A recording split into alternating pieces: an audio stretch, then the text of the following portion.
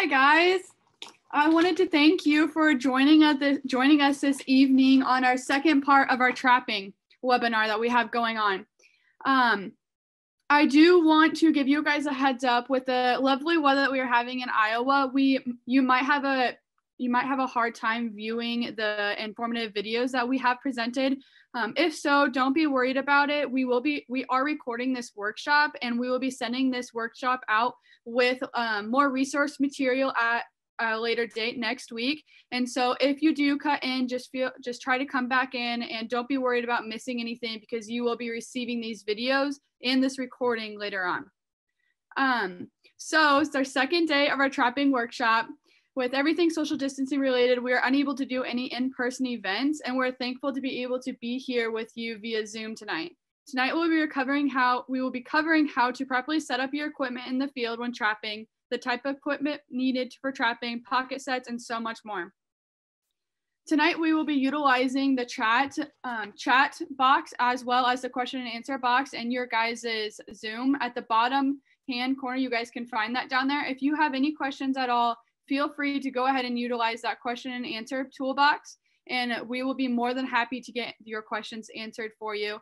We have an awesome panel set up here tonight and they will be um, able to answer anything that you have and you have their full attention tonight so make sure to ask all the questions that you guys have so we can go ahead and get those answered for you before you get out in the field trapping um, so tonight if our panelists will our panelists will reveal themselves and add their video we have steve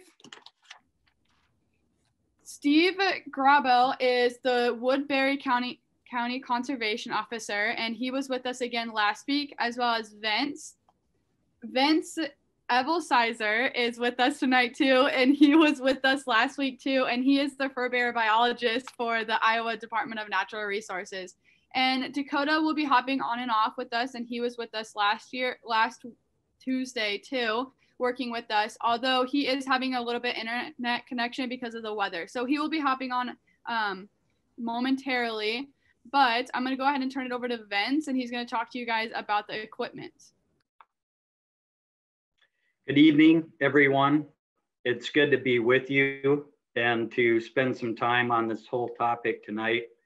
It's kind of the more exciting part where we get into the equipment and techniques of trapping. Um, also keep in mind, we're gonna do what we can here with tonight's seminar, but if you're a beginner, you know, don't be overwhelmed, you know, with it or feel like it's too much. Just take baby steps with it if you do want to get into trapping and you're new. So this is really only the beginning, you know, of many more things you can learn and teach yourself or learn from others. So with it being a virtual, uh, you know, webinar platform where we can't be in person, you know, with you guys like we like to be in the field.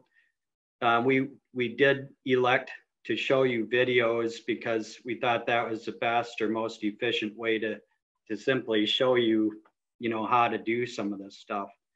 So in getting started with that, um, we wanted to go through some of the basic trapping equipment. Um, one of the other panelists here, Steve Griebel, is walking through the trapping equipment, and then he'll even be in some of the techniques videos after the trapping equipment video. So I believe we have, again, four videos, like segments from four videos to go through with you. The first one being trapping equipment. The second one is uh, coon sets, mainly pocket sets and a few other types. And then the third video will be predator trapping on dry land. And then the fourth video again will be fur handling um, we can't go through every type of set to make for every type of critter. So the point of these videos tonight is to show you some of the more basic or common ones that you're likely to try out if you're a beginner at some point.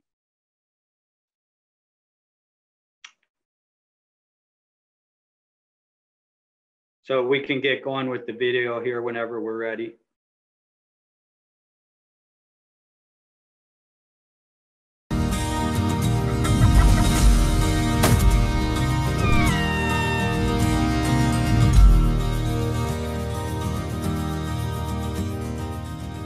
when we're trapping, uh, it, it, always seems like we're, we're digging holes or moving dirt. So you're gonna have a variety of shovels and that sort of thing. So if you're digging a small hole, maybe in a, in a dirt hole set, small shovel like this, uh, this one happens to be kind of rounded, so you can stick it in the ground, twist it, pull out little plugs of dirt.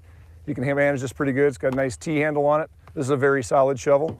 Um, another version of that same shovel, we're working in the, uh, working in the, a little bit deeper water, say, or uh, digging deeper holes in the bank would be something like this.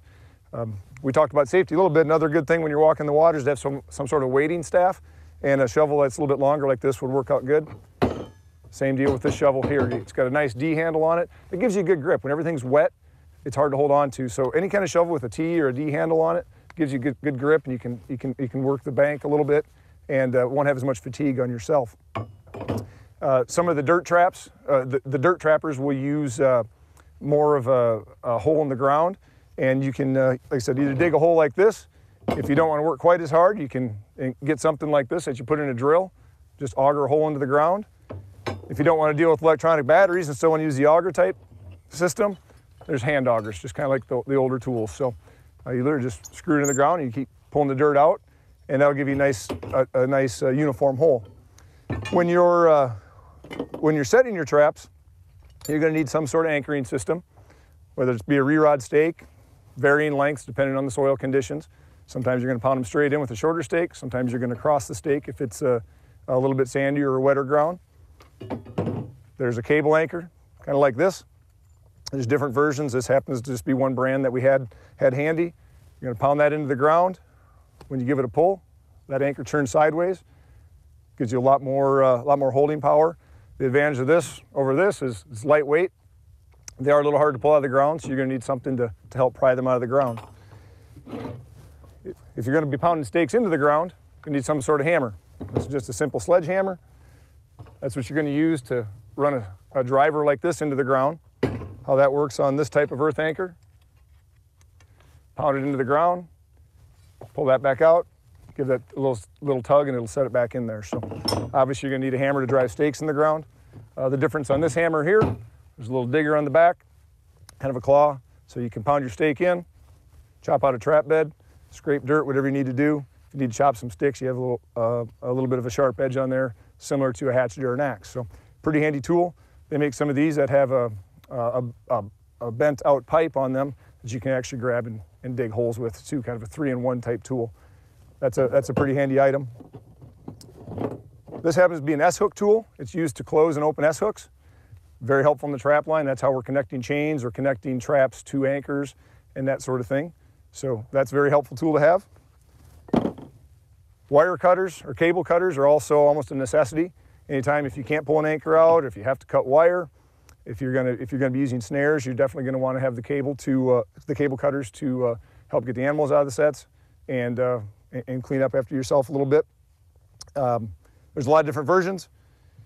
If you're going to use a lot of cable, and a lot of wire, uh, a good cutters is worth its weight in gold. Generally, you're not going to wear them out. You're going to lose them first. So you notice a lot of my stuff is painted orange or, or a bright color. That's by design so that you don't lose it out in, in, in, in the, the dry grasses. Um, wire is also always a necessity on the trap line, whether it's wiring things together that are broken or, uh, or trying to, uh, to anchor traps. This is just a little deal I did with, with tape. Wrapped around, you can pull the, the wire out of the middle of the coil. Keeps it from getting wrapped up and everything else.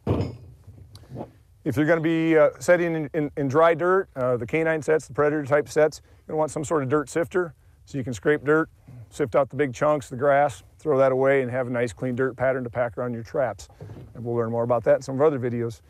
Um, this is a uh, called an underall. It's just one specific brand. There's a lot of different brands. Some people use cotton. Some people use uh, uh, different sorts of polyfill, like what you would use in a in sewing applications.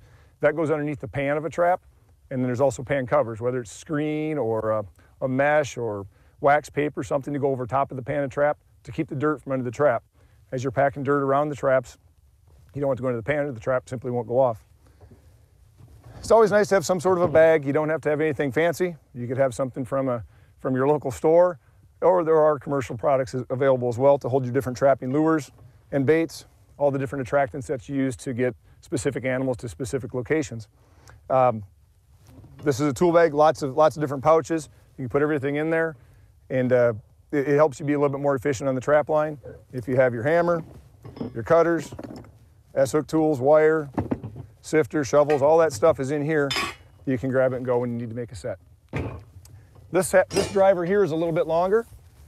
If you're trapping in the water, you may want to use long re-rod stakes. Again, if you're carrying stuff or in a boat, it takes up a lot of weight. You can make these anchors any length you want. This happens to be 16, 18 inches. You can make them three or four feet long. The advantage of that, you can use a longer driver and drive them farther in the ground to, to get into solid ground. If you have a lot of silt on a river or, or a pond, uh, anywhere where there's a, a, a, lot of silt or very soft dirt, you can run something a little bit deeper and, and make sure that they're anchored uh, very securely. Uh, anytime you set a trap, you want to make sure that uh, whatever you catch is, uh, is not going to get away with your traps. We're going to talk a little bit about some of the traps that you can use when you're out in your trap line. Um, the most inexpensive traps are snares or cable restraints. Uh, there's different kinds of cables. There's um, from, from 16th inch cable up to 8th inch cable and a lot of different types, whether it's multi-strand or multi-strands of multi-strands, say a 1 by 19 or a 7 by 19 cable. There's different kinds of locks on the cables, the cable restraints or snares as they're commonly referred to. Some are, some are a little more complex, some are very simple. This is a cam lock, some are just a bent washer, but the purpose of the, of the lock is to do just that. It'll close down and it doesn't open back up, so it'll hold the animal or restrain the animal until you're able to return. Um, in Iowa, we have deer stops. It's something we need to make sure we have in our snares. It only allows them to close to a certain, uh, certain diameter. You go down your snare, there's, there's a, a, thing called a whammy. That will help hold the snare on wire. And um, to, help to, to, to, help support the snare when it's set. And then you're going to have to anchor that snare, whether it's to a re-rod stake, to a cable anchor, to a tree, whatever it may be. And snares with swivels. Swivels are always great with trapping equipment because they add strength and allow things to move without getting twisted up. So uh, very simple snares. It's, it's small, uh, inexpensive. They're you know less than $20 a dozen, sometimes as cheap as 10 or $12. That'd be good for a coon-sized animal. If you go to a coyote-sized animal, it's taller. You're going to need longer snare to get it higher off the ground. So uh, that's just one option on a snare. Different locks and, uh, and uh, different lengths of snares is, uh, is, is, the, the variable there, and that's a personal preference. But a lot of different options that you can go with. Uh, there's, uh, they're very effective. They're inexpensive, but they're a one-time use. Most of the time, you can't reuse the cable after it's caught something, but you, what you can do is cut the parts off and rebuild your own snares to save a little bit more money and be a little bit more efficient. the next type of trap that we're going to use is a, is a body gripping trap. Uh, there's, there's different brands. This happens to be a 110 size trap. That's going to be for the mink and muskrat sized animals. Uh, these are kill type traps. You want to be very careful where you, where you place them, making sure that uh, they're, they're not where you uh, may have non-target catches that are, uh, you know, that you're putting in danger. So uh, that's, a, that's a smaller animal size trap. Like I said, the, the muskrats and mink. Um, they jump up to the next size. This is a, this is a 165 or 170 size trap. that's also usable for mink and muskrat in some, some aspects but uh, generally used for coon trapping, possums and skunks, that sort of size animal. The next one's a 220, 280. They just keep getting bigger as the number gets bigger, right? And then a, um, this is a 330. It's a very common, common trap. Uh, we talked a little bit about safety. All your conibears with two springs are going to have a, a, safety latch on each spring that keeps the springs, allows you to set both springs. On this trap, this is another thing that I, I failed to point out earlier, but it's a, a safety spring. So if this trap was inadvertently snapped, it's not going to go off this is going to keep you safe. So um, you just don't want the traps around your fingers when you're trying to set them. So uh, this size trap is a little bigger. This one needs to be set completely underwater. You can see the size. Um, generally designed for beavers and otters, and, and uh, it will catch other, other animals that are underwater, but uh, most effective for, uh, for beavers and uh, otters. So there's, there's multitude of, of foothold type traps. You have the long spring traps, hence the name, they have long springs. You have coil spring traps, they have coils on them. You have underspring traps. The spring is underneath the trap. There's a bend, and when you pull this down, that's what, that's what gives the trap its, its, uh, its firing power. Uh, the long spring traps are very easy to bed because they have a lot of surface area. Coil spring traps are generally a little bit faster, more compact. Most of the land trappers will use these, whereas water trappers generally use the long spring traps more frequently. But uh, coil springs are very common, more of an older style trap, more modern, as in modern in, in the last dec, you know, not in the last decade, but the last century. Um, you can replace these parts more easily. And uh, the underspring is not something that's uh, popular as much anymore.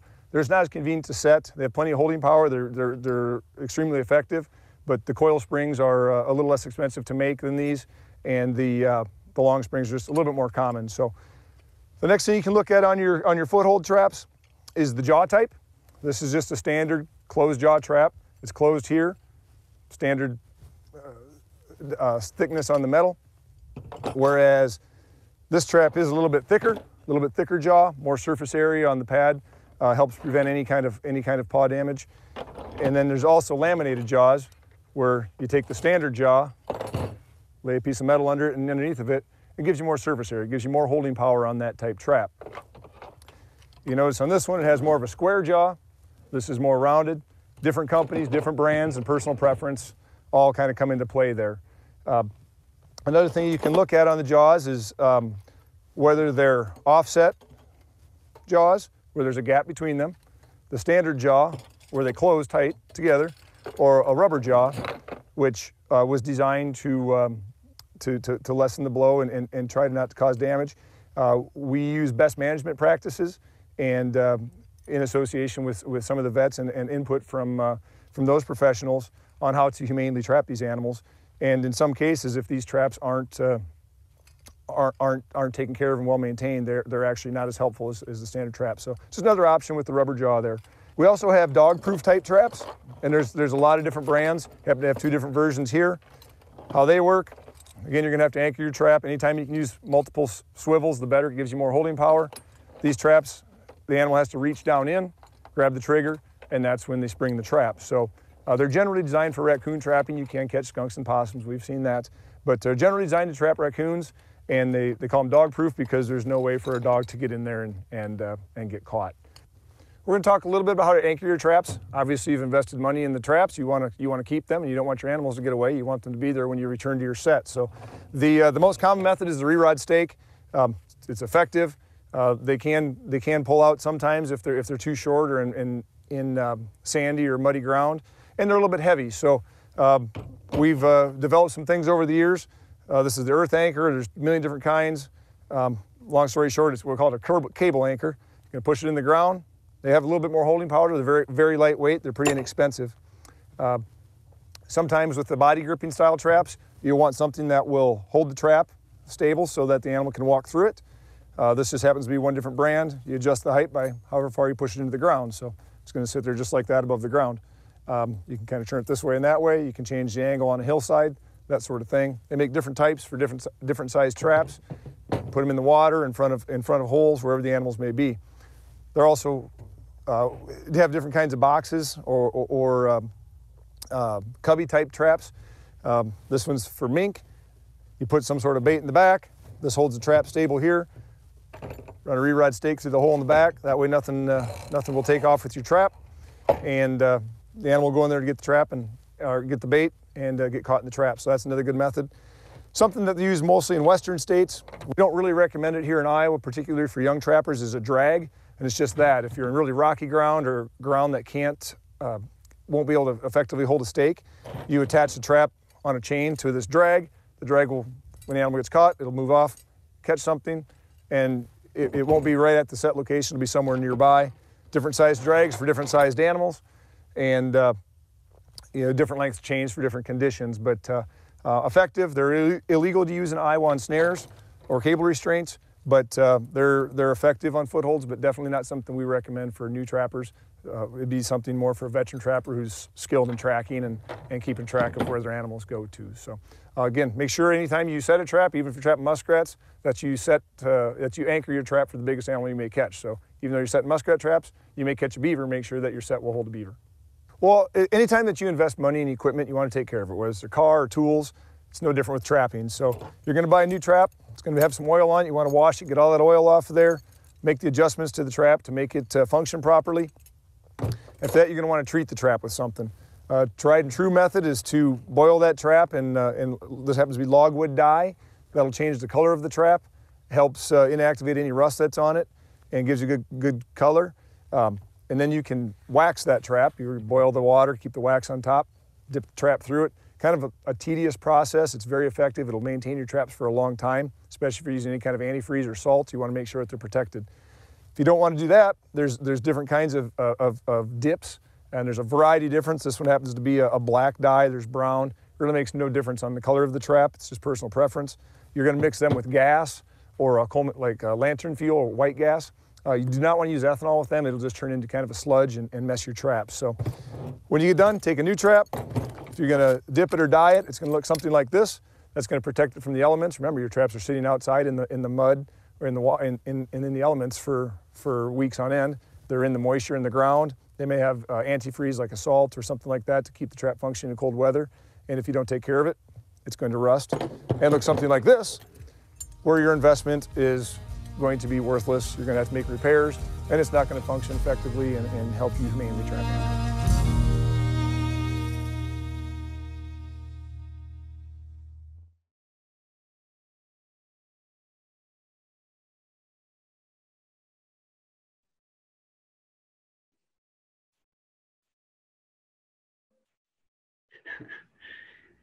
I hope uh, that video was helpful for you guys watching tonight. Um, remember, if you have any questions, to feel free to ask Steve or myself. Um, what Sophia was referring to earlier for doing that, for asking questions, is to simply uh, move your cursor to the bottom part of the window on your screen of your computer, and you'll see a, a row of buttons along the bottom, and one of the buttons is Q&A um, simply click on that and it'll open up a little chat box where you can type in your question for us and then one of us will answer it. Um, also, yeah, I think that's the best way we can with this method here tonight anyway. So feel free to do that. Um, if you guys, so I forgot to introduce myself a little more. I'll do that really quick. Um, just so you know who we are again, my name is Vince Evelsizer. I'm the fur bearer biologist. So I I don't do as much with law enforcement at all. Um, that's where folks like Steve and Dakota Drish uh, introduced earlier. They do law enforcement. Um, they're officers um, in different parts of our state. So the part I do is more with the wildlife biology, where we're looking at the populations, the annual harvest, um, disease things, um, things like that more. So that's kind of a little bit with who we are. So with that, um, should we start the next video, Sophia, um, which is the um, I think Steve actually had something that he wanted to say. Great. Well, so again, I'm Steve. Uh, you guys recognize my face probably from the other night, and I'm sure you're already sick of hearing my voice. But uh, uh, we talked really fast there about the equipment. And I guess what I just want to encourage is don't get wrapped up in the brands and the type of, of traps, the type of, of, lures or anything like that.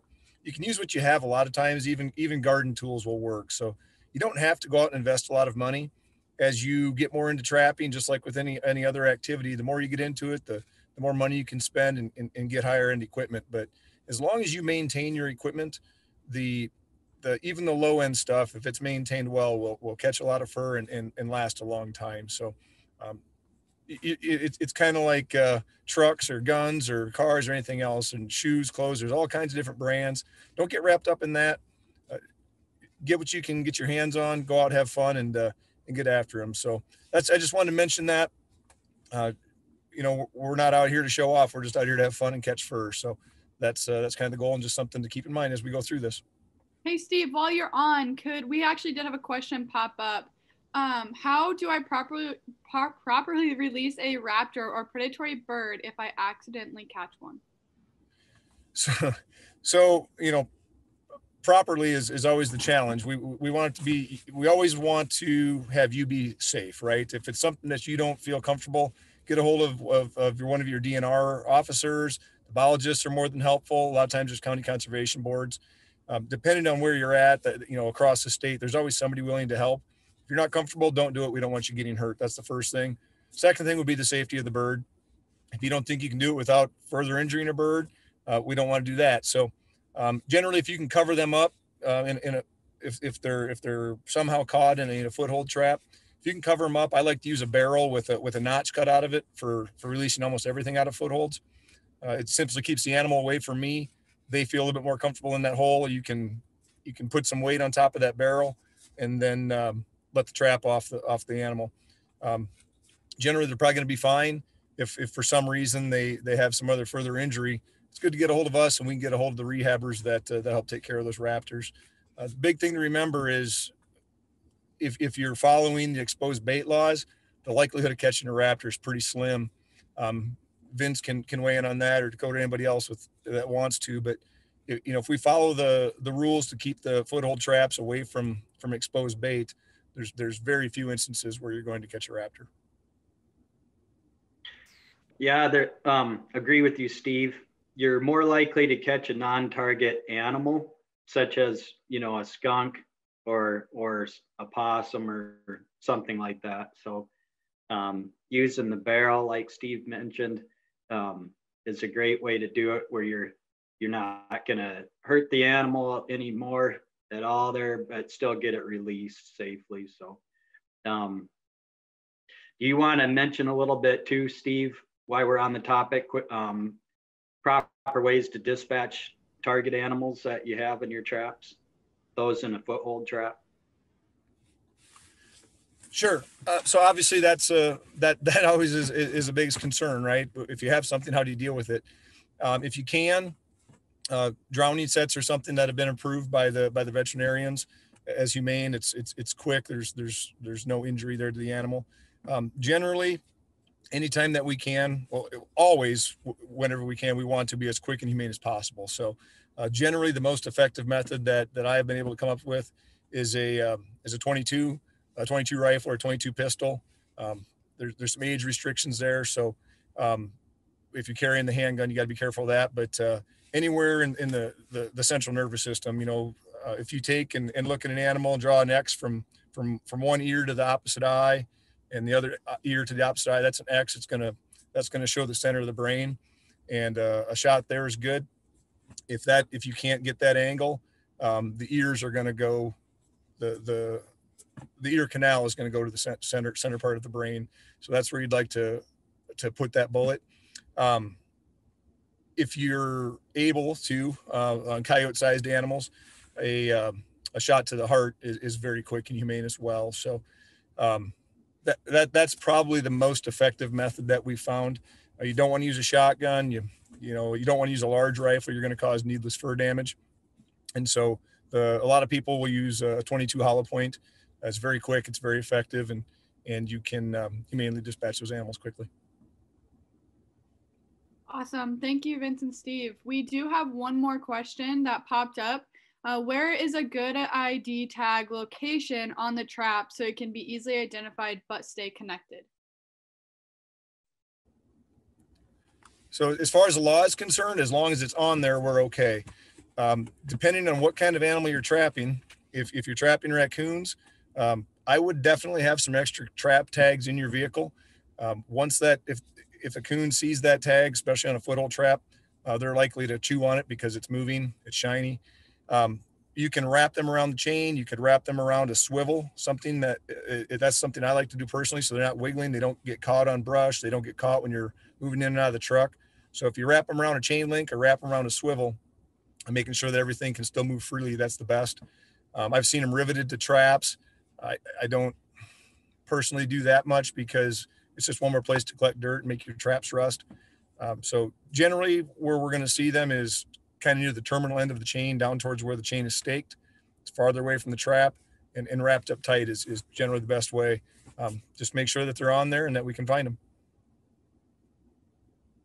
Awesome. And Steve, could you do a little review for those that weren't here on Tuesday? Where and how do you get a tag to ID your traps?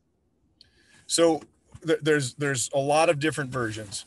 Um, what what the code requires is that we know whose it is. So your name and your mailing address needs to be on there. And so there's some write your own trap tags, which are a very thin piece of metal you can write on with a pencil, and you'll see it. Now they don't last very long. It's they're they're thinner than say a pop can. Um, we've had some people make their own where they engrave them. Uh, some people have engraved the bottom of their traps. That doesn't really work because we can't read them. We're looking for a tag and and uh, and it's challenging to see that. So um, there's there's a lot of trap supply dealers um, around the state. Uh, there's some online, and so you know whether it's the Snare Shop, you know they're here in Lidderdale, Iowa. Uh, you got Kaatz Brothers over in Savanna, Illinois. There's there's a variety of, of dealerships um, all around the Midwest, all around the United States. And so if you go to any of them, if you just type in trap tag, generally they'll they'll let you order them 50, 100, 200, 500 at a time, and you can um, they'll stamp them out into a copper, and it's really nice. They just attach them with a piece of wire or clip, or wrap them around the the, the links. So uh, that's where I would go. It's they're they're relatively inexpensive, um, you know, pennies a piece, and uh, they will save you a lot of work. Perfect. Thank you. Um, I actually think we're about we are ready to move on um, to Vince to say something else before the next video. So the next video you're gonna watch is uh, um, approximately 25 minutes long, I think it is. It's a coon, mainly coon trapping video. Um, it's mainly profiling the pocket set. Uh, Steve will be in the video as long as as well as Brian Steinus, um, showing you the techniques for one of the most common versatile sets that you can make in Iowa. Very effective uh, for not only raccoons, but for mink, muskrats, about it almost, you may even occasionally catch a canine in, in such a set. So water pocket sets coming up.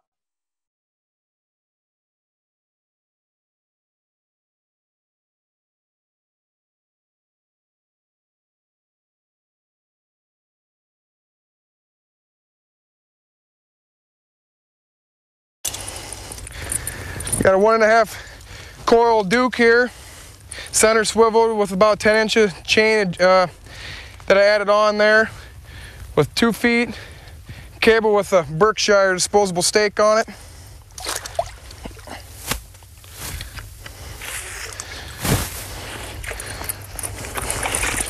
Run that just so your trap reaches the hole.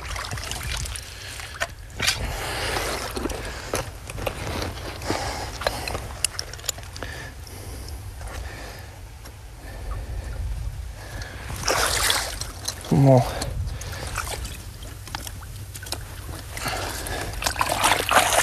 Set our trap we want. We got our hole made. If you can see it here, it'll fit right back in there. When you look down the lip of the pocket, I like to have the start of my pan right there.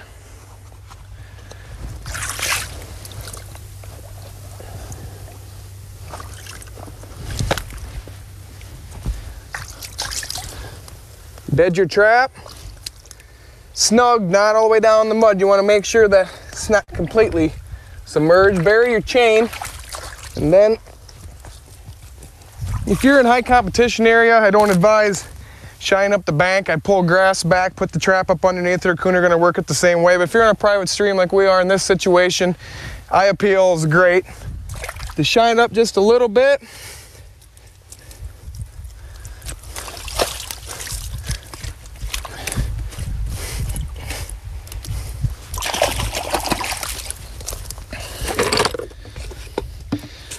Take some of our Big Sioux special here.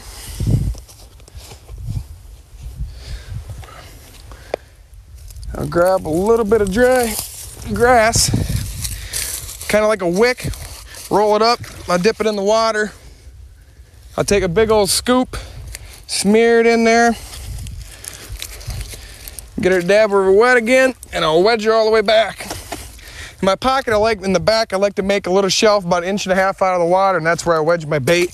Keeps it from keeps it from washing out. If you're, you know, in a private creek, you don't have to worry about it that much, or a creek. But like on a river and stuff, you'd like to keep your pocket a little higher so boat traffic and stuff don't wash your hole or wash your bait out of the hole. Then I'll take a little bit dab of our Wapsie River's best. Just put a little smear of that up on the lip of the pocket.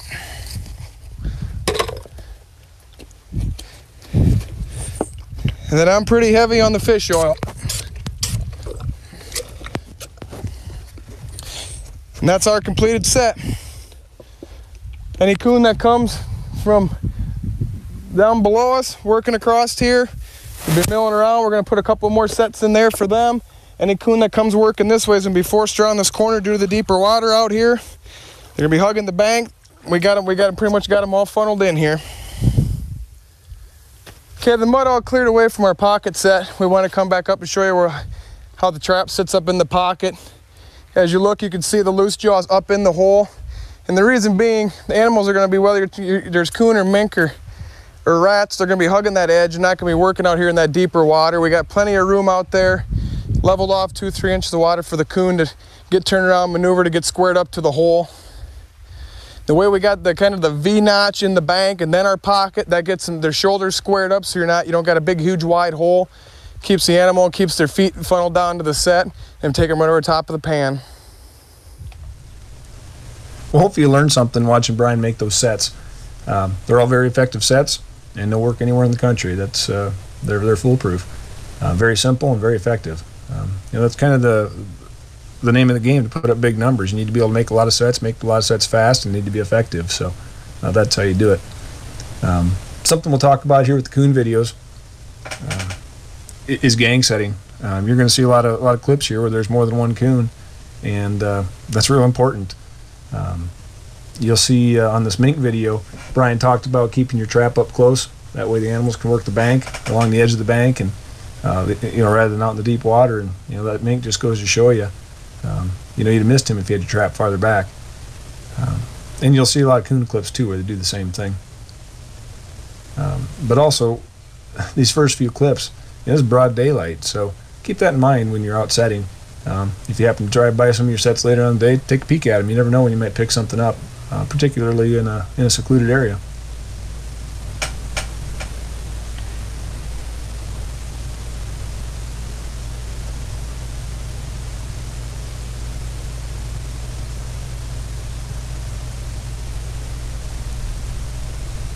And you know, this coon, even though that's a big coon, he's working up close to shore. Uh, you know, he might have even got him with the with the back foot there if uh, if you missed him at the front foot. But he spends a lot of time at the set, you know, hiding that bait way back in the hole or putting some grass in it. Uh, that that keeps him working the set, keeps him there longer. The longer you have him at the set, the higher likelihood you you have of getting him caught. You know, again, um, I've already mentioned it a couple times, but know, I can't emphasize enough that when you're making a set, you know, at, at any specific location. If that location is good enough for one set, it should be good enough for two. Um, if you if you practice that, especially while you're coon trapping, you're going to catch a lot more fur. Um, particularly early in the year, those coon are going to run, you know, one, two, three, four at a time. And uh, if you only have one set out, you're only going to catch one coon. But uh, two or three sets is at the same spot. Uh, that's going to get them. You're already making the stop. You're getting out of the truck. You know, once the sets are made, they're a lot easier to check and uh, you know, I, I almost everywhere I go, I put two, three, four sets in. So um, that's definitely something to remember. Well, as far as bait and lure going on, on coon, it's uh, really pretty simple. Uh, we use a lot of fish oil. Uh, what that fish oil does is uh, it floats on top of the water and it's going to get caught on uh, on sticks and grass and little dead you know pools of calm water and it's going to help those coon locate your sets as they work their way along the bank. Um, if you're in an area with a lot of competition, try to use something different what everybody else is using. Um, if I'm down by the water, I tend to use a loud, fishy uh, type bait and lure.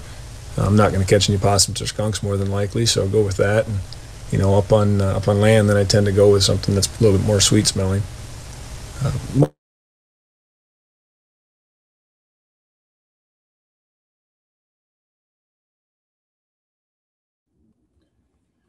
So sorry about that, guys. We had a, a little bit of technical difficulties. Uh, well, we weren't really planning on the weather that we had around the state today. Um, unfortunately, uh, we weren't able to go out and make sets. We we actually ripped uh, those clips from a couple of DVDs that are out there that uh, uh, my my Brian Steinis did, but uh, you got to see the animals there.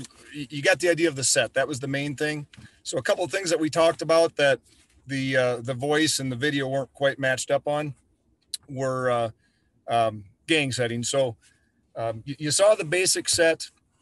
You, you kind of got the idea what Brian was talking about. Eye appeal, where you could shine that bank up, was taking some water in your hand, just kind of pushing up on the bank and rubbing it around, and uh, any moonlight will shine on that smooth bank. It'll actually reflect a little bit of light and and, and get the animal's attention. So uh, a big key to trapping the, the lures, the baits, the attractants are important location is the number one thing. You got to be in the right spot. If there's no animals to catch, you won't catch anything. Uh, and then bait and lure, but you know, animals can see farther than they can smell. They're very curious. And if something looks out of place, they're going to come investigate it. Good baits and lures are going to get them to, to work that set and get caught. So that's what he was doing there. Um, you, you could see in the video, he's taking his hand in the water, just kind of rubbing it on that bank and shining it up. You got to be a little bit careful doing that. If you're in, a, in an area with a lot of other trappers, you, you may end up uh, losing some fur or losing some equipment if, um, if somebody has the propensity to do that. So uh, careful there. Uh, gang setting, what he meant by that, different times of the year, you're going to have higher populations. As, as the beginning of the se- at the beginning of the season, you're going to have uh, uh, family groups of coon running together or, or, or bunches of coon. They may be uh, non-breeding pairs or fr- from the year before where uh, they just they, they didn't uh, pair up with any any other adult coon and, and they're still running together. And they're going to be moving along the bank to, kind of in unison. They just they're you know, everything's social. There's very few uh, lone animals so to speak. And so putting two or three spots in a good location uh, is going to make you more efficient. If you only have to make 20 stops in a day on a big trap line and there's two or three sets at each location that's better than making 40 or 60 stops if they're in good spots. So uh, when I trap personally, if I if I think the set's good enough for one or the location's good enough for one set, I'm generally putting in two or three when it comes to coon trapping. So uh, the pocket set is is really your bread and butter. We've talked about that a couple times. Uh, there, there's no right way. There's no wrong way. That was just a, an idea. Everybody's got an opinion. Do what works for you. Um, big things. Make sure that trap's anchored, especially in soft ground, and um, you want to make sure that when you do capture a coon, you can't reach out and grab sticks and grass and, and pull things into the set and tangle. That'll cause you a lot of headaches. And use a proper size trap. We don't want to use great big traps for coon. You want to use a smaller trap that's going to catch them across the pad of the foot instead of up higher on the leg. That'll that'll reduce paw damage and and uh, help prevent uh, fur from getting lost. So um, be safe when you're in the water. You, find good set locations. You can scout all summer long, and uh, when you get uh, get out there and start making the sets, don't worry about screwing up. There's there's really no right way. Do what works for you. Awesome. Thanks, Steve. Um, a quick question for you, Steve and Vince, if you want to answer it. You kept referring to a good set location, a good location. Very broadly, can you give us an example of what a good location is for some maybe beginning trappers if they don't know how to identify that? Sure. That's a pretty important thing, isn't that? I just said it's the most important thing in trapping and didn't even tell you what I was talking about. So, um, uh, if we could use an analogy, so if you're on a gravel road, you might see a car. Pretty good chance, right? If you go to a, a county road, there's a higher likelihood of seeing a car. You go to the highway or the interstate, you're going to see vehicles. So, if you, if you think of it like that, um, you want to you want to make a set where the most roads are coming together. So you want to find travel corridors, whether it's uh, two streams intersecting, um, a, a, fence line running to a stream, a, a, a easier place to walk. Um, wherever animals are congregating is going to be your best location. Every animal is a little bit different, uh, and they all have different habits. If you have a stream that's winding, uh, maybe the outside corner of that stream on the high bank is going to be a great spot for a, for a dryland coon set. And if you have uh, uh, two or three small streams coming together, that may be a good location for uh, one or two sets for animals that are traveling down that drainage. So um, look for those intersections and, and the best way to do that, um, find food and animals need food, water, or shelter. So find those things and, and find paths going to and from them. And that's going to be your, your, your best location for, for really any animals. I'm sure Vince has some, some, some good advice there, but uh, that's, uh, that's very broad and very quick, but uh, go out and scout no different than hunting or, or fishing anything else. You got to find the right spot and uh, it'll increase your success. I completely agree, Steve. The only thing I would add on to that is to, if you like the outdoors, you know, when you're out fishing in the summer or turkey hunting in the spring, always keep an eye out for sign so you don't have to do all your fur scouting during the fur season. You can be out there whether you're running your dog or out hunting for fishing, you know, pay attention to fur sign at all times of the year. Awesome. Thank you guys. Um, so I think before we go, move along, we're actually going to take a 10 minute uh, break just so you guys can get some water, stretch your legs, check on your kids. Um, so it is 6.51. So why don't we meet back here at 7 o'clock and we'll get going for you guys again. Okay. Thank you.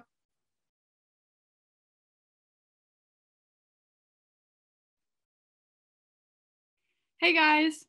Um, so I saw some awesome questions going on in the chat box, and Adam, I am actually attaching a link to the um, hunting atlas for you right now, so I will have that out for you in a second.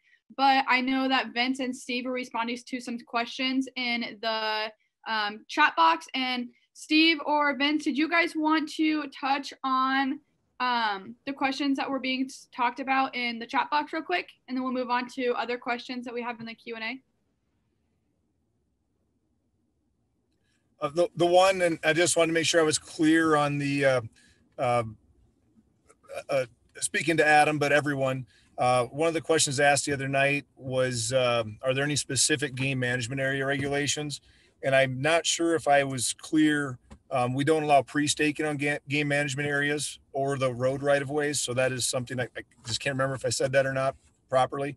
So um, can't can't pre-stake before the pre-staking time.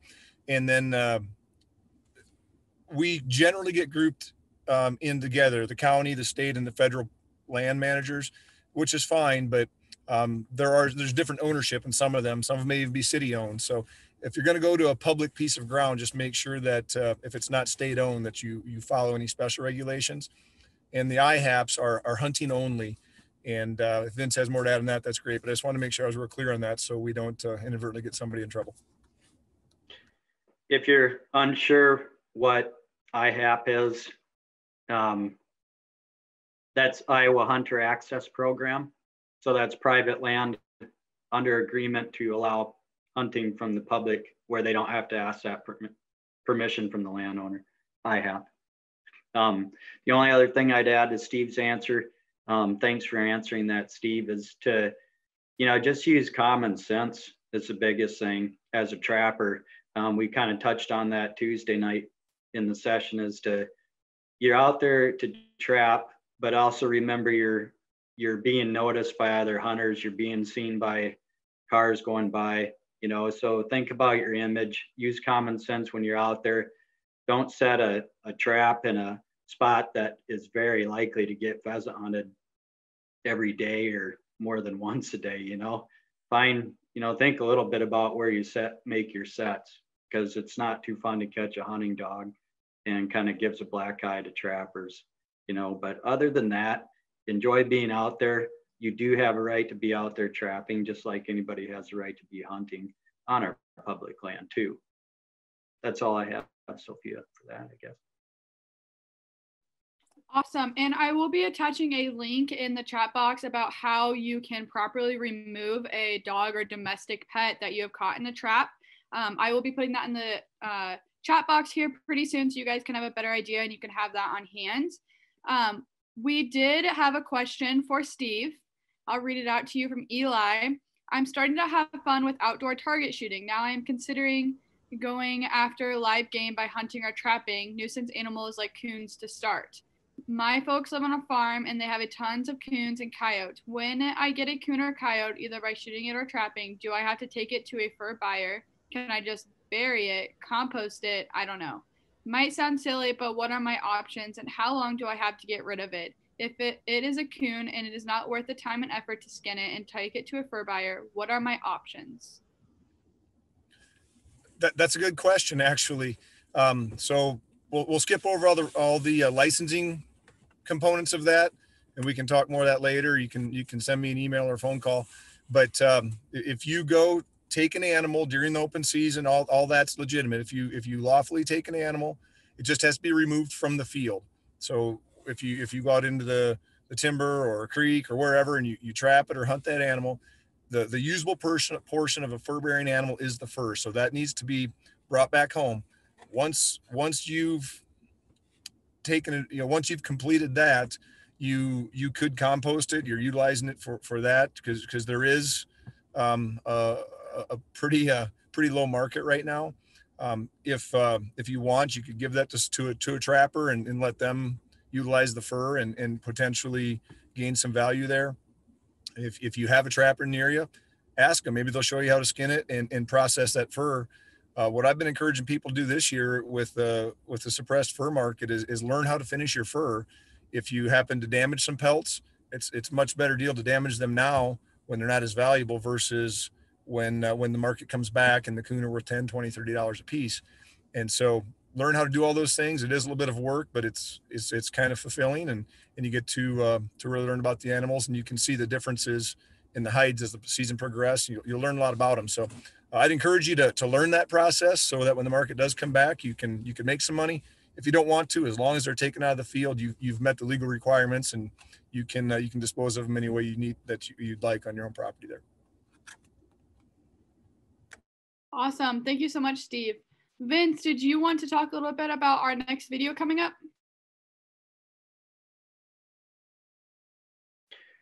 So yeah, thanks, Sophia. The next video you're going to be watching is uh, dirt hole sets for predators, mostly uh, foxes and coyotes here. Um, Steve and Brian will be showing you guys a basic dirt hole set and some of the variations with that. So that, that's the most common, you know, or one of the more common dry land types of sets, you know, to be making in Iowa. So um, it's effective and works quite well. That's why we wanted to show you that technique. That's all.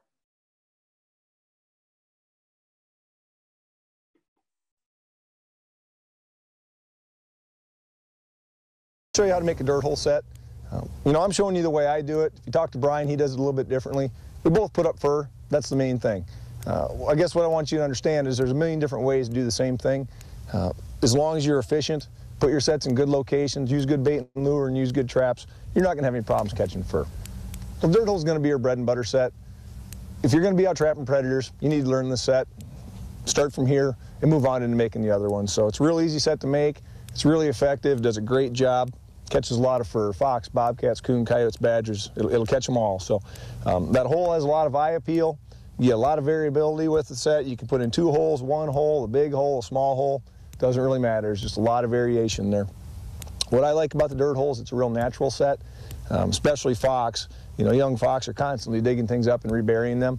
Uh, so it's a natural, it's an instinctive thing for them to do. It's real natural, and that's why the set is so effective. So uh, first thing I do when I make a dirt hole set is I dig my hole.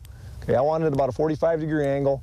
Um, six, eight inches deep is good. 10, 12 inches is better. The deeper that hole, the harder the animal's gonna have to work to get at your bait. The longer they're gonna be at the set, the better chance you have of getting them caught. So, like I said, first thing I do is dig the hole, then I dig my trap bed, anchor and bed the trap, put my bait and lure on, and I move on down the road. So, uh, reason I chose this location, you probably can't see behind me, but there's railroad tracks and this real long fence. It runs for over a mile.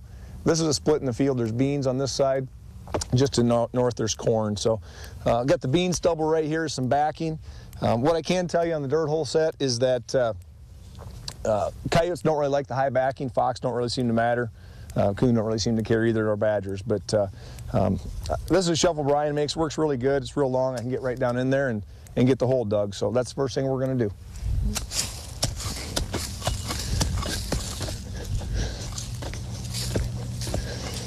So like I said, you want to get that hole dug at about a 45 degree angle. 10, 12 inches deep is real good. Deeper the better. Scrape some of this back so it's not tangled up in our chain after we catch something. We're going to dig our trap bed. Don't waste a lot of time. Just get that trap bed just big enough for your trap and uh, bed the trap and cover it up and move on.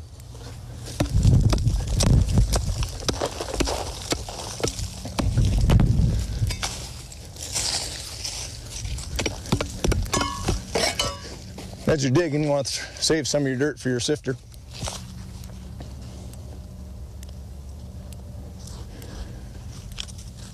Put some loose dirt in the bottom of your trap bed. That'll give you something to bed your trap in real solidly. Drive this anchor in. I prefer the standard Berkshires. Got about 18 inches of chain uh, with a couple of uh, mid-chain swivels on my traps.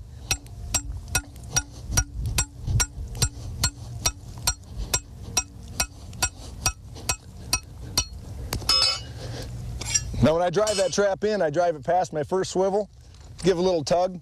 That first swivel is right at the top of the ground now, right at the bottom of my trap bed. Uh, most of my traps are one and three quarters. I use Victors, I use Dukes. That's number two Montgomerys. That's number three Montanas number three Victors, but probably 90% of my traps are one and three quarters.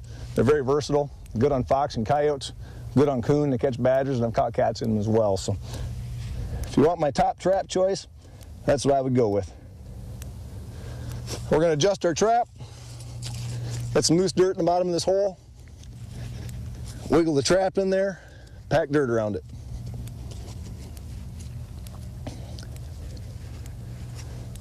I tap both jaws, that trap's not moving, it's real solid. We're gonna throw a pan cover on there, cover up the trap.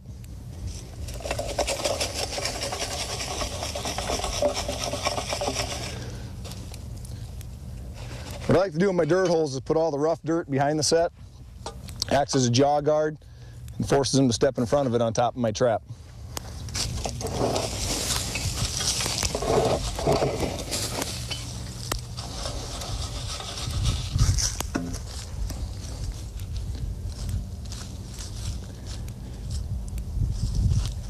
I tend to blend my sets in a little bit. It does a good job for me. Again, I like to leave some of the rougher stuff on the back here, acts as jaw guard. You don't want any high spots, don't want any low spots. Um, I'll put a couple of jaw guards in the front there too, just to encourage them to step on that pan. I don't get real worried about trap placement. I figure all the animals are different sizes. I tend to crowd the hole. Um, from the back of my hole to the center of my pan is about a hand width apart. So uh, right there's my pan, just a little bit off centered. Got the hole dug about 10 inches deep. And some rough dirt back here to force them over top of that, uh, over top of that loose jaw into the pan. We're gonna put some lure on both sides of the backing, some bait down the hole, and we'll be ready to go. I carry a fork around for my bait. It seems to work real good. What I'll do is put that bait right down the hole on top of some leaves. And I'll cover that up with, uh, with a few leaves as well. Shove them down on top of that hole. Down in the hole on top of that bait. That makes them look for it a little bit harder. Makes them work the set a little bit harder. As long as they're there, better chances are you're going to get them caught. I use a lot of popsicle sticks for my uh, for my lure, but when you're out in the cornfield like this, you have all kinds of options. So put a little bit of that on each side. You can put it up on the uh, up on the backing, and I usually like to put one right the right at the lip of the hole too.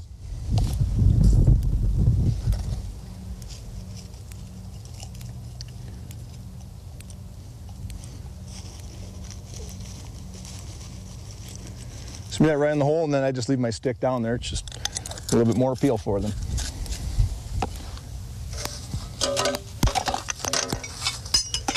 Well, that set's done. Again, it's in a good location.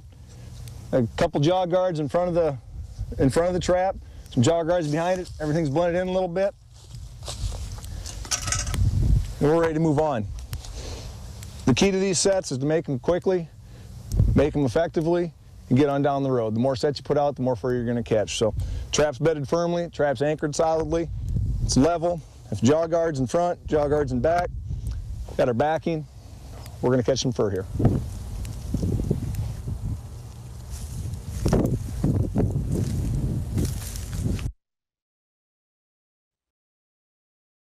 We spent quite a bit of time putting together some real nice night vision footage for you. The whole purpose of that is so you can see how the animals actually work the sets. There's a lot of theories out there on what the animals are doing. In my opinion, the best thing for you to do is watch the animals. And now you are going to know how they're going to work the sets. You know where to put your traps. You know what kind of areas they're traveling in. So uh, the results don't lie. We're using our baits and lures here. Uh, these sets don't have traps at them. They're just mock sets to show you how the animals are going to work a set. So keep that in mind.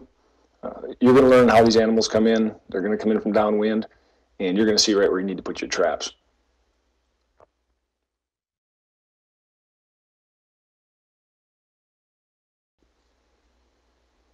You'll notice on this uh, this clip and the next one how fast this coyote gets the lure stick, grabs the bait. Uh, that's one benefit to having that deep hole at your dirt hole sets. I'm a big proponent of that. You know, dig that hole 10, 12 inches deep. The animal's going to have to stick around the set longer to get to the bait, and that just increases your odds of catching them.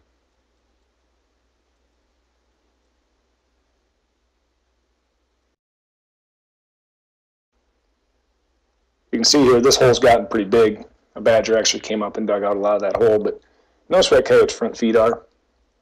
I tend to crowd the hole when I'm trapping. It doesn't matter if I'm trapping fox, coyotes, coon, whatever. I crowd that hole, and a lot of times you pick up that, uh, that animal it, on its first step into the set.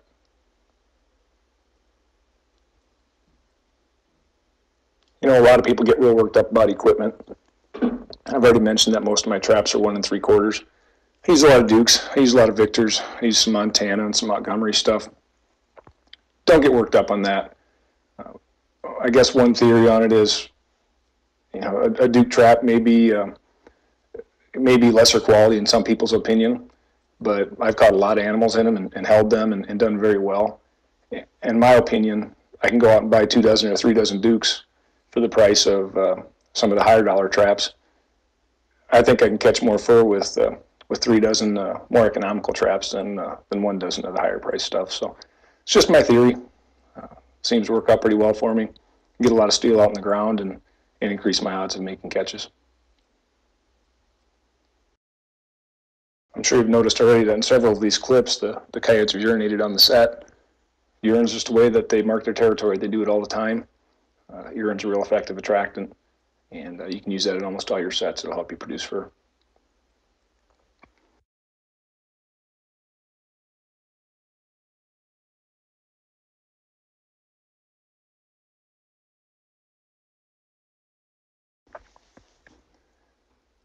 You're going to notice that these fox are pretty cagey around the dirt hole sets. You know, they really don't like the camera. I've noticed that in quite a few of the, the night vision clips that we've had, but uh, they're just notoriously wary.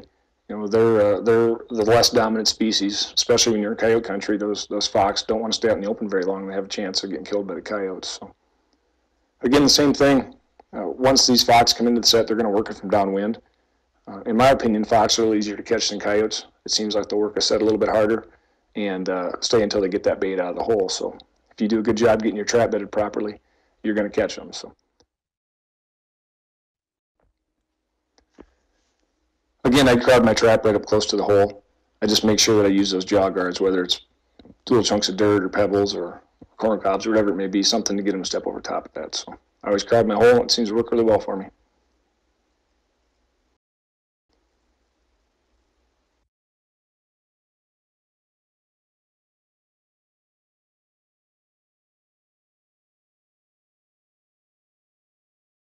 You can see this fox looking down the hole.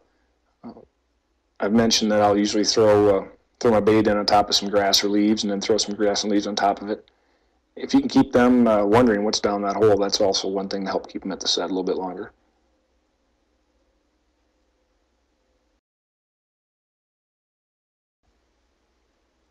Just like with the coyotes, the fox like to urinate on their sets. It's just a way of marking their territory. They're pretty pretty comfortable doing that, and that's how they know uh, who's around.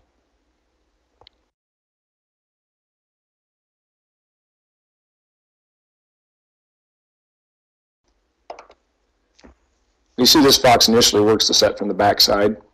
That's where your backing comes into play, as well as having that hole at a 45 degree angle. There's basically no wind right here. You can see the, the grass isn't moving in the background. But with a little bit of backing that I had and, and having that hole at a 45 degree angle, this fox works around to the front side of the set. And again, if I had my trap up close, we'd have him caught. So uh, this fox will stick around and, and keep working that hole until it's got the bait out of there. So again, a well-bedded trap is going to help you catch that animal.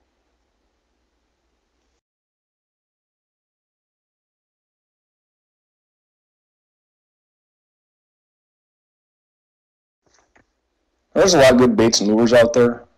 You know, they're all going to work to some degree. Some are better than others. Uh, it's just the way it is most of the coyote videos you saw have Midwest Best, and that's my favorite coyote bait. Uh, this particular hole has Farmland Favorite down in it, and that seems to be a really good fox bait for me. Those are, you know, probably my number one fox and coyote bait.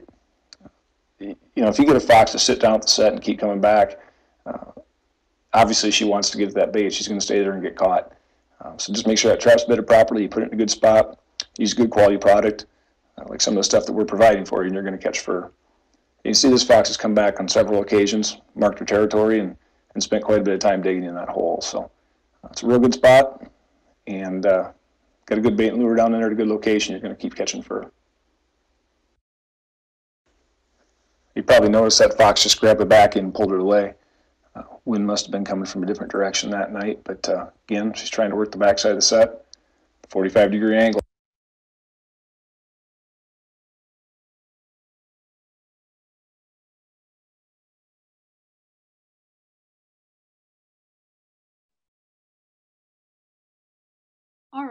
That was an awesome video demonstrating on how t- how the animals actually maneuver around. When I first started trapping, I would never have thought of actually going and utilizing different nighttime vision um, cameras and footage about uh, my uh, mammals. That's awesome. Super happy you guys got to see that. Uh, Steve, I think wanted to touch base on a couple things that you guys saw in that video, and then also after that, um, we do have a couple questions waiting.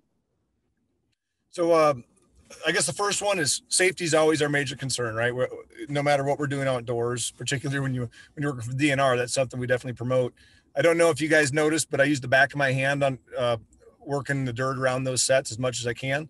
Um, seems kind of dumb, but uh, after I say it out loud, you'll you'll notice that if I happen to bump the pan and snap that trap, it's just going to push my hand up. I'm not going to have my fingers in it. I mean, it's not going to hurt you, but it's not overly comfortable either, and then you end up having to get yourself out of the trap. So um, I've done that a lot of times. Uh, you can make fun of me. That's okay. I don't mind. But uh, use the back of your hand. It's a little bit safer.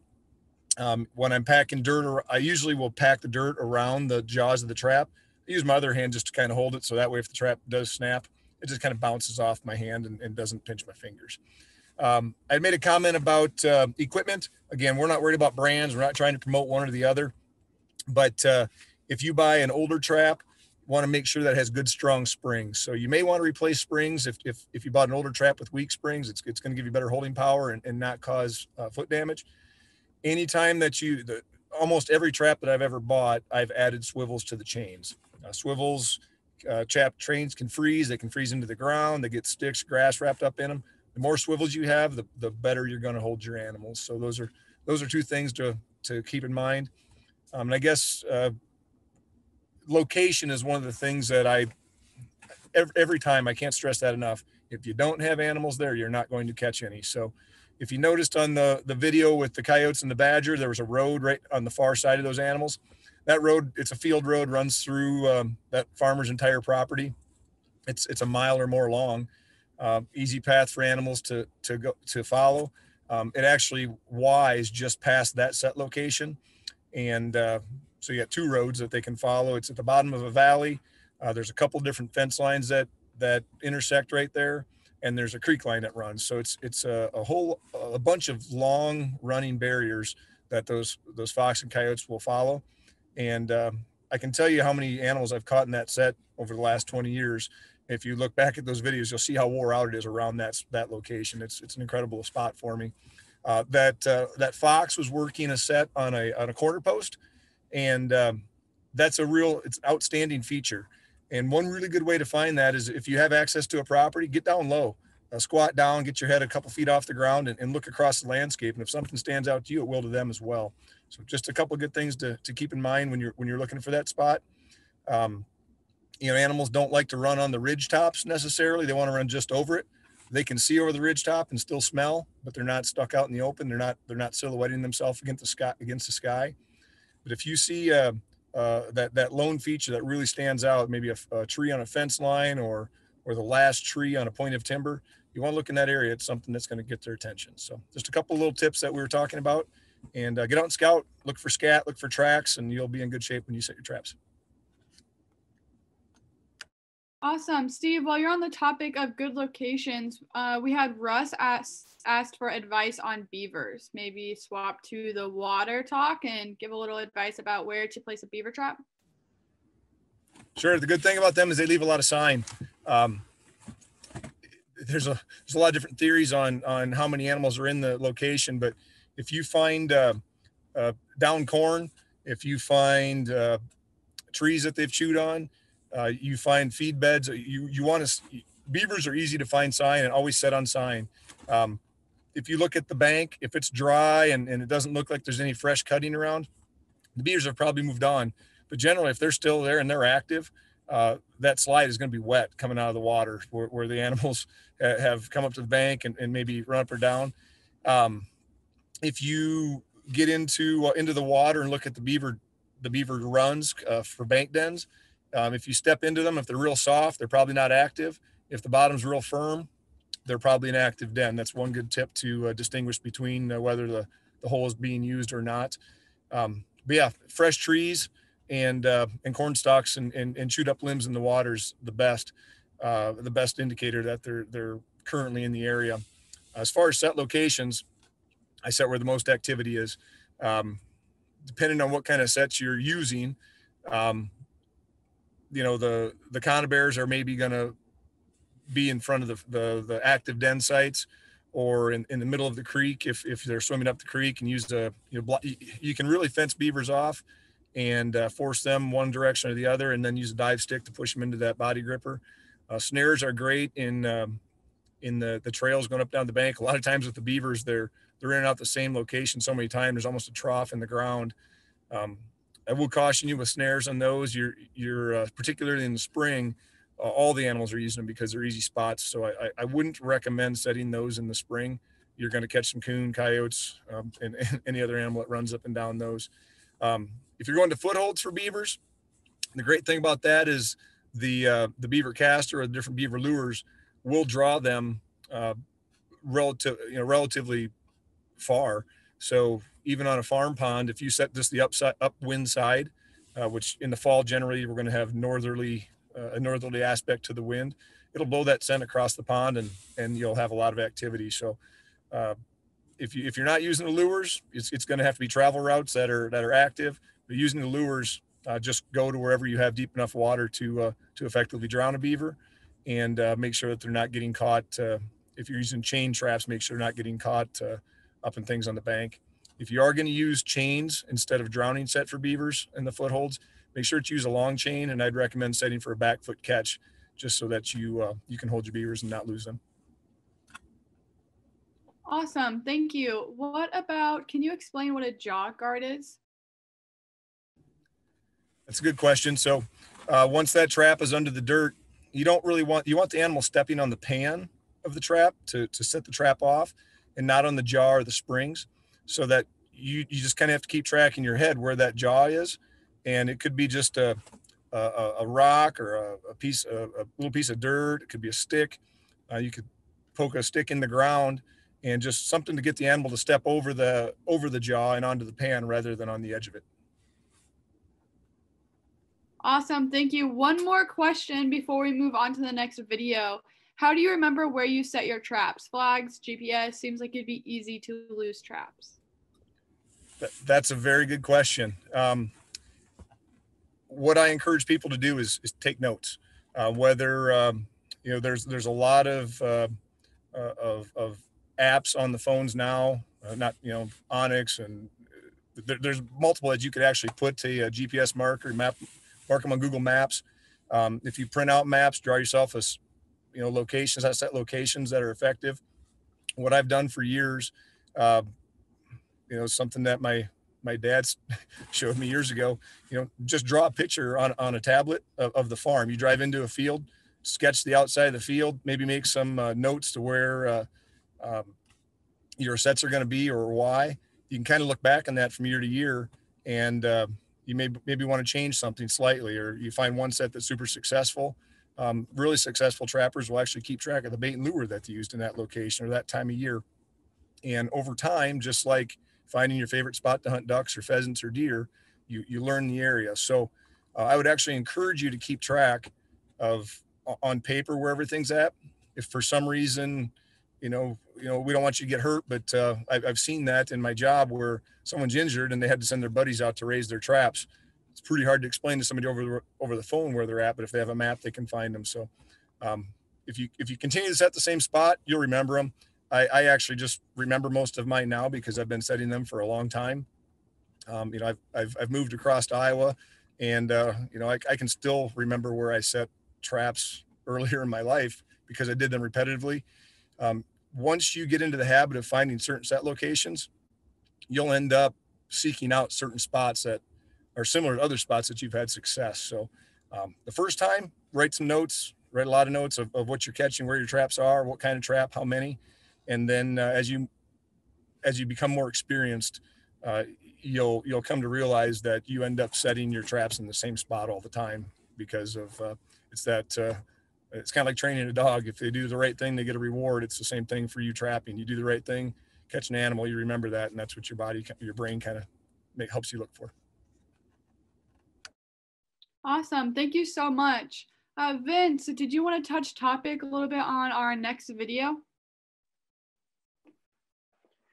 Yeah, just to also quickly follow up on Steve's answer with uh, losing traps or not wanting to lose traps is if you get into this and and you are doing this after school or after work or before so you will get tired and you start burning both ends of the candle so to speak writing it down or putting it in whatever app google maps onX whatever it is a good idea to keep track of where they're at especially once you get tired a couple days into it uh, moving on to the next video um, it's going to be on fur handling um, we wanted to show you some of this because you've caught your animal, now what? Um, we want to help get it started with showing, you know, a, a good way to take care of the fur here with this video. How we skin a fox. Um, the tendon right here, you take your knife and go in just down below the ankle joint, go down about an inch and a half. You do it on the same thing on the other foot, push in here, go down about an inch and a half. You don't want to get down into here. But that'll, then you can hang it up like that. Then it'll keep it from pulling down. When we start the fox, before we even start cutting up there, we go right at the front foot ankle joint and we start our knife right where the, the black and the white kind of here. And we go right down to the knee. That's a little easier to pull the leg through when you get down there skinning.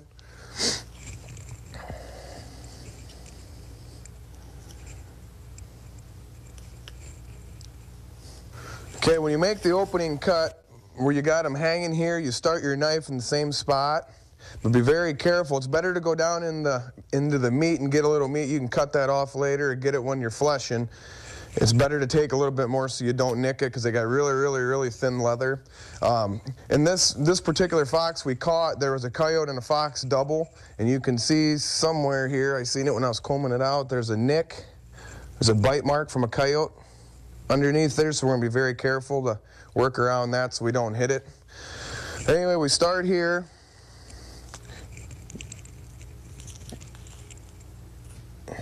You cut right where it separates here, the color separates. Cut right up to its butt. Right to there. And you can, do, you can still do it while it's hanging up. You be very careful to cut a straight line yet. You'll start right there where your color separates. And you just keep working your knife up nice and slow. Then you take a little bit of the flank and cut around real slow. You can stick the knife in. When you're cutting against the bone like that, you always want to put the back of your blade against the bone so you don't dull your knife right away. then you get to that tendon in the back.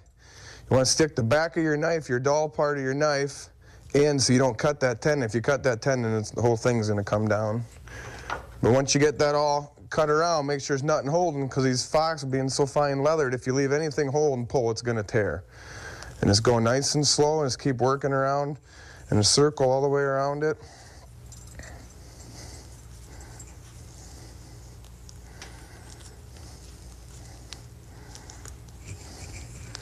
Then you'll get down here and you'll start getting to the meat and it'll start pulling a little bit harder and you just want to stop. Get the inside pulled down.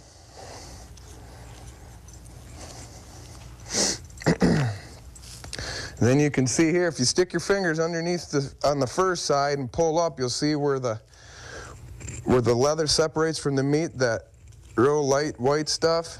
That's where, that's where your cut line wants to follow. If you get up here too much, you'll nick it every time. And it's better to cut towards the meat than the leather, of course.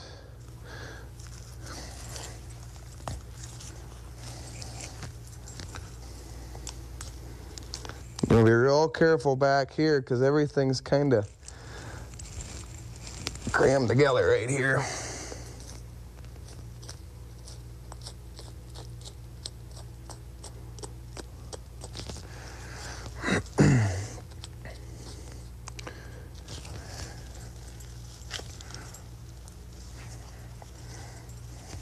And you want to cut around. Cut around their butt and get that all loosened up.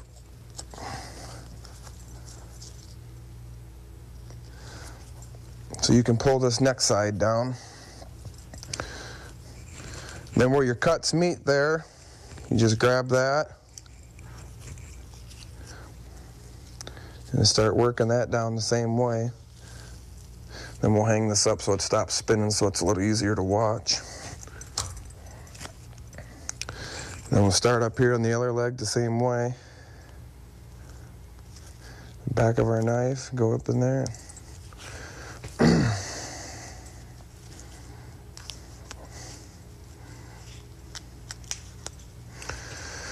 Start working this side down again. Nice and slow.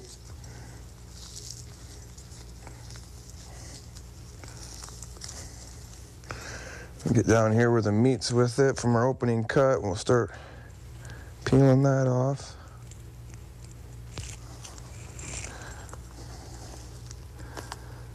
Remember just to follow that white line across there. Just keep working down. Follow that white. You can see when you pull down, you got your fingers in there, you can see this all separate there. This is your leather, of course, and this is your meat. You can go right along just on the upper edge of it, and then it'll, it'll walk right down. We're showing you on a fox because foxes are a lot they're not harder to skin. It's just you gotta be a little more fussy because they're so light leathered. Um, when you do like a coyote, they're tougher leathered. You can you, skin it 100% the same way, except there's uh, you can you can get a little closer and their leather is a little tougher when you pull them. They don't pull apart like these. You grab this and you pull down with like one finger through here and you pull down on it, you'll pop a hole right through there and probably rip that whole corner off.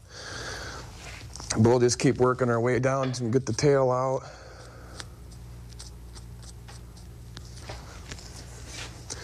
Then when you get back to the back of the hips, underneath the tail, everything's, you think that you're going straight through, but you're not, so you want to keep slowly cutting there. Because what I've seen a lot of people do is they just run their knife through there, and then once you get the animal skin, whether it be a coon, coyote, fox, whatever it is, there's a big hole back there, and that's where they grade back there. So you want to always go up higher back towards the animal to make sure you're safe so you don't nick that. Because what happens is when you do nick that, when you go to put your animal on a stretcher you pull down on it and you forget yourself because you're not used to cutting them always right there, and you pull down on it and you pull the tail right off. So you just keep working around the tail like that.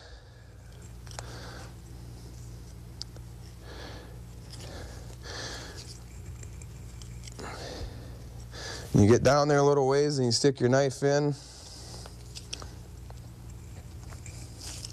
Like that, straight down the center of the tail. Cut that little bit of meat loose there.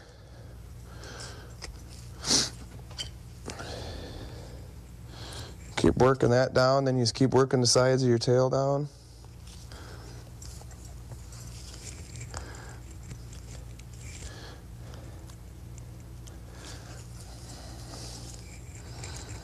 Just go slow right down around here just to make sure that you don't want to lose your tail. Okay, let's keep working this tail down.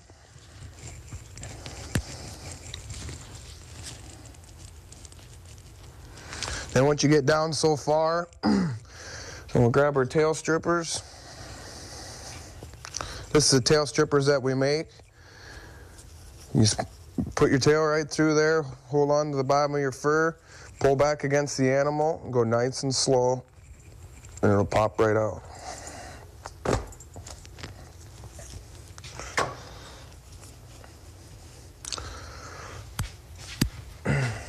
Then we just take our little tail zippers there, then finish the rest of the tail the rest of the way out. And get started these big old bushy tails. You gotta make sure you get all the way down in there and go straight down it.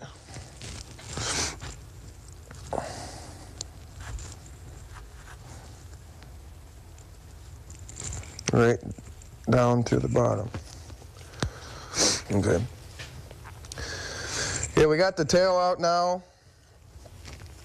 Now we'll just cut away a little bit more of this. This fox was the one that had the nick in the side from the bite mark from the coyotes. So we'll be very careful working our way down around here. Normally you can start putting a little bit of pressure on them to start working your way down, but we know there's a little hole. You can see here where the damage is.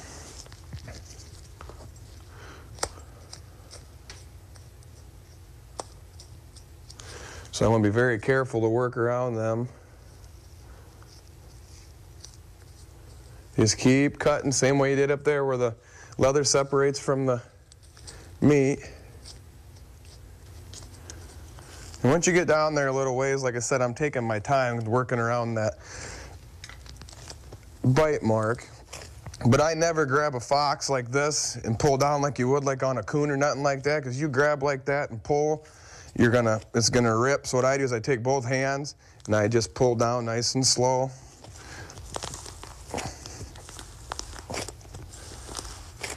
Just keep working that down. You don't gotta get carried away.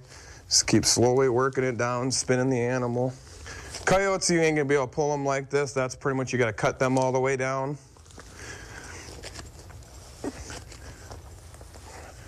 Then you get down here and the meat from the front legs will start coming down on the leather. You just stick your finger in there, pull that loose. Stick your finger on the other side, pull that loose. And you can pull down a little bit more in the back. And then you get to the front legs and everything right here is be crammed together so you're gonna wanna take your time. So what I do is I come down the back and I wanna get the back down farther. So be very careful down around here. You don't want to get any more nicks here because you come to turn them. It's hard enough to work around them front legs when you're turning them to keep them from ripping because they're such a narrow animal when they're finished on a stretcher. One little nick and you go to turn it becomes a big nick really fast. Just keep cutting down around there until you get underneath that front leg. And after you get down there a ways, you can stick your thumb I always push back up towards the rib cage a little more to get it to come out. Then you can just pop your front leg right out just like that. And we'll go to the other side. You pull down a little bit. Pull up on the front leg to get room in there so you're not pushing, trying to push your finger through the leather. And you just pop it right back out through the outside. Put your finger back in there and pull down. See, now, now you got this all spread out. Now you can actually see what you're cutting.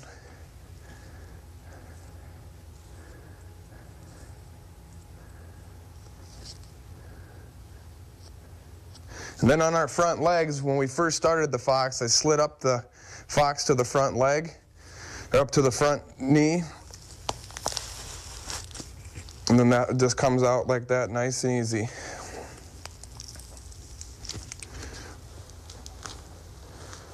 Walk it right out nice and slow. Then you come back just to where you where your cut is.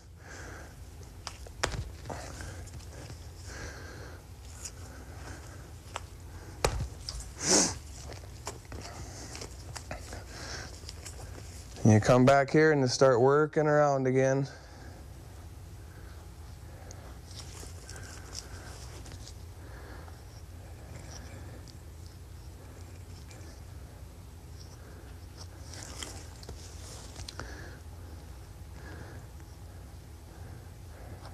Down there a little ways and you can put a little pressure on it.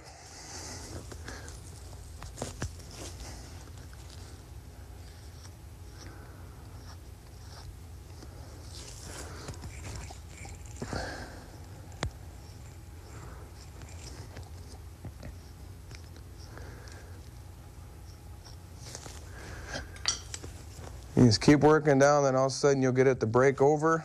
Once it breaks over, that'll get you down to your ears. And I take the back of my knife, the part that ain't sharp, and I'll, put that down towards the skull. Run it through like that, so you're not digging into the skull. I stick my finger in their ear. Start working around like that. Stick my finger in the other ear.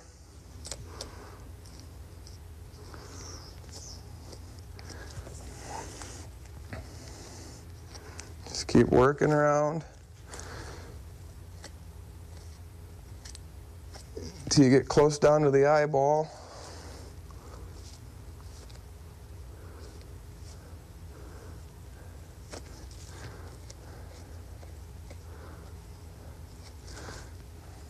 And when you get to the eyeball, you're going to want to cut back up towards the skull to get that eye socket loose. A lot of people come right down off the edge of the eye and cut straight down, well then you got a big, huge eye.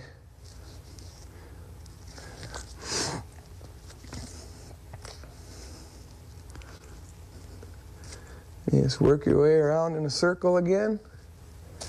Just keep working front to back.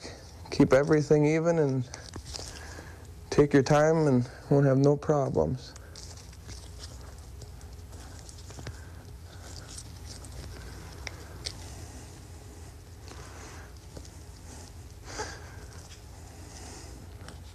When you get that bottom lip just about to the end of the jaw, when your finger can fit through there, go right to the top of your finger on the bottom lip and cut straight out. You don't need that because what happens when you put that on your board, that folds over and then it won't dry, so it all has to be cut out anyway. But when we put the fox up on a wood board, we can show you that. You just keep cutting around there.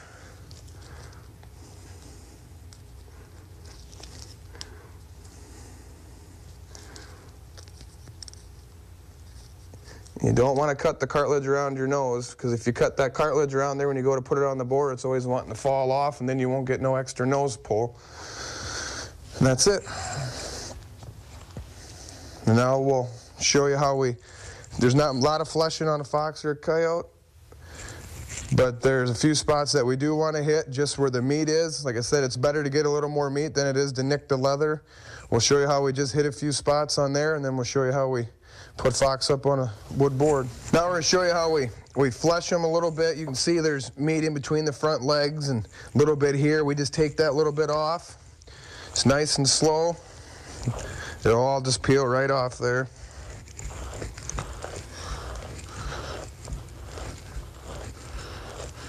Don't want to get too carried away with them.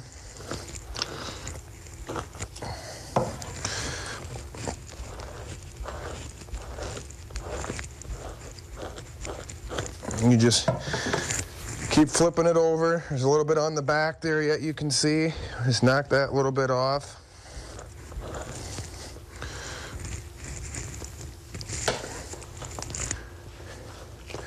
A little bit on the other leg yet, shoulder there. Just hit that, knock that little bit off.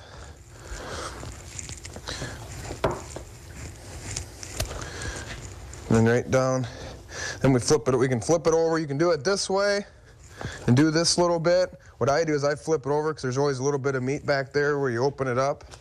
And you start up here on the front legs, just pin the head against there, and just push this down a little bit down backwards, and it'll all come right off. And it'll all walk right down off there. And then just pull the fox down.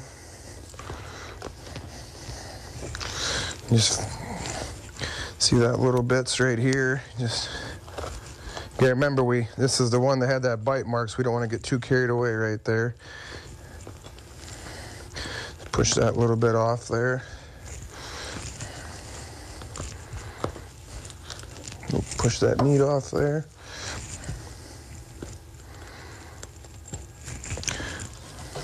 A lot of this little tiny stuff will will dry on its own. Just keep peeling it right over.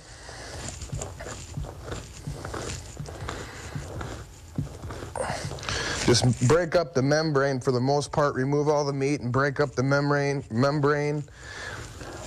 And that's about all there is to it. A lot of people I know, they just uh, put the skin on, put them on a stretcher and take a real sharp like fillet knife, fillet knife to them and trim the meat and the bigger chunks of fat off, which works fine too. But the auction houses like them cleaned up the best they can. Just peel that little bit off.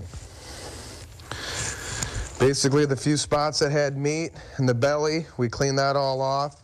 underneath the front legs. We clean that off. Top on the top side of the front legs. Back of the shoulder straps we cleaned off. And the back here where you were skinning. Like I said, it's that meat rolls right off there with a, then I use the dull side of the fleshing knife to do all this. You don't need the sharp side.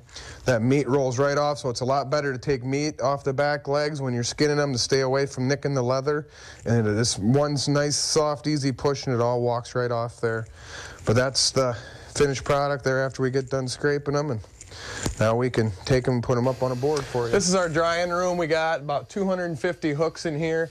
Um, when we're doing coyotes and fox, we go about every other hook. That way there's more than enough room to get air in, in there. So when we go to turn them, they're dry.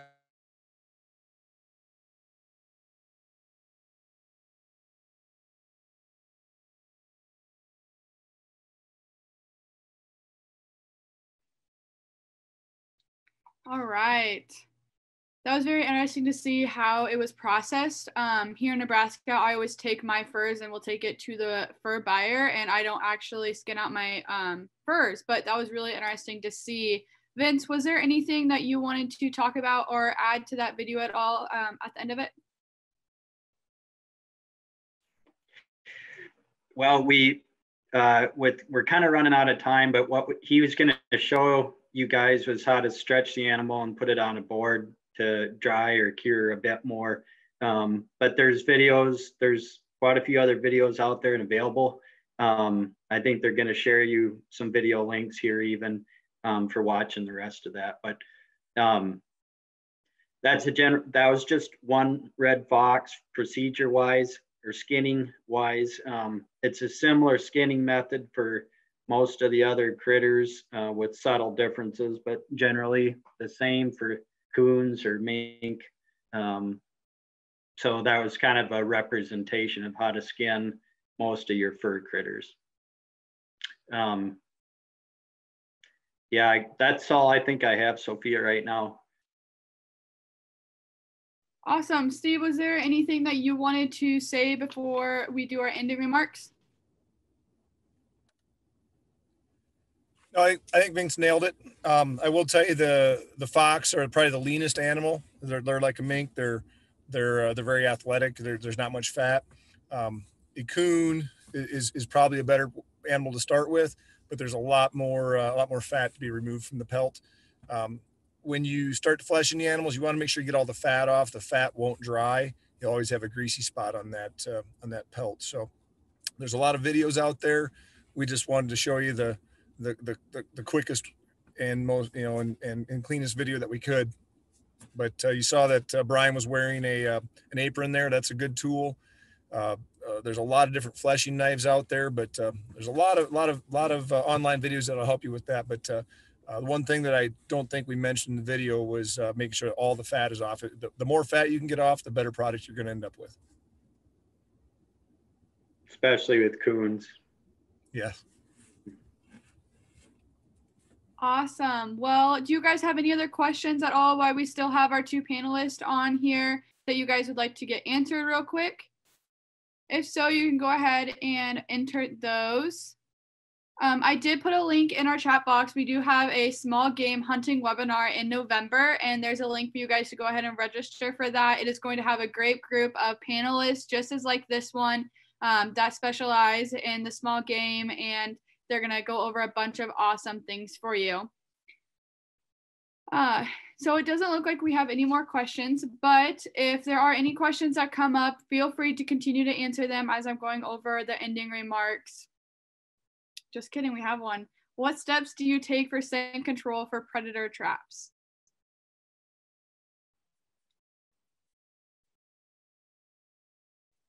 Steve or Vince, do you want to answer that?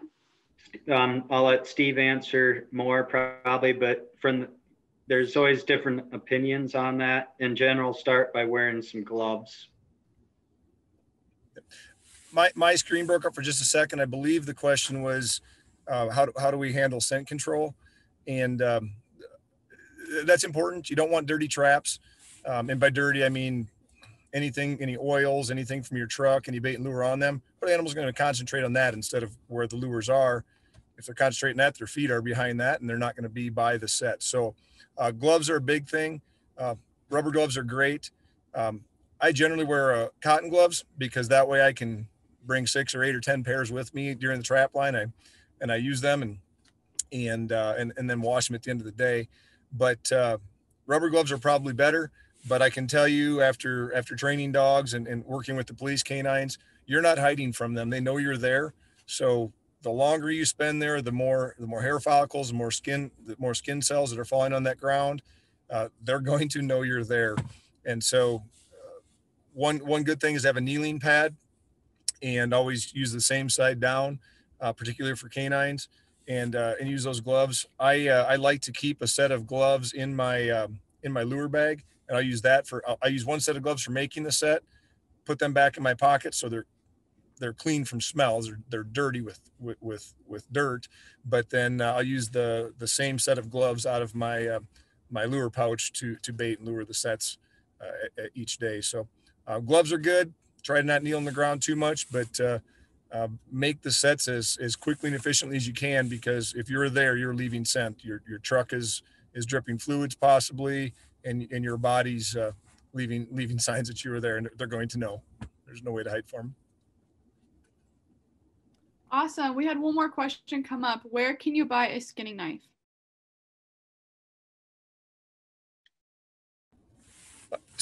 Um, most of the, a lot of uh, trap supply houses are, are kind of a one-stop shop. Um, there, there's a lot of them here in the Midwest. Um, like I said, the, the big one here in Iowa. There, there's others, not to pick on anybody, but uh, the, the snare shop in Lidderdale, Iowa is uh, is a, is a big business. Uh, Brothers, F and T Trading Post. There, there's a whole bunch of different companies out there. You can get online. Um, if you want to go in and, and, and look at items, you know, that, that's a little bit of an advantage over the online store. But uh, uh, any, any of the online uh, or any of the, the trapping warehouses or, or trap suppliers will have them. They'll, they'll literally have everything that you need. And if they don't have exactly what you want, they can probably find it. So you can order your trap tags and your skinning supplies in the same place. I would add on, yeah, thanks, Steve. To add on to that, if when you go to one of these places or you're looking online at stuff is some trappers like to have different types of knives or blades. Um, they have openers or starters. Um, some of them use the sharps or scalpel type knives that are really sharp and then they throw the blades you know if they get dull and just replace it with the new one. Others like to use you know a little bit more specialized knives that they can sharpen and keep using that kind of thing. So doesn't hurt to ask around or look around a little bit, you know, when you're doing that and kind of find what you like. Awesome. Thank you, Vince and Steve. You guys have been awesome tonight. Um, well, I think that's all the questions that we have. If you guys do have more questions, feel free to reach out to either Steve or Vince. We will be sending their contact information on the email that will that will be coming out uh, late next week. That again will have the recording from tonight. It will have the recording from Tuesday night, as well as multiple different links to videos that you guys can have access to. That should be very helpful, as well as um, link to a different atlas and guides and other things that uh, we think that you might find helpful when you guys are out in the field or preparing yourself to be out in the field. As well as there will be a post survey um, going out, and we really do encourage you guys to answer that survey for us and to really um, communicate with us what we did well and what we didn't do well. That way we can better improve our webinars that we are putting on for you guys and make sure that you guys have an all around really good time um, on our webinars. So please, again, please finish and complete that post survey for us. It would mean an absolute bunch.